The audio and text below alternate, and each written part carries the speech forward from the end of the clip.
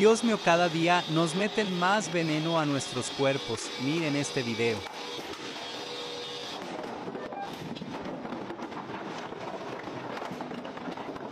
Ahora en día uno ya no sabe que es natural y que no es. Miren cómo nos venden comida artificial.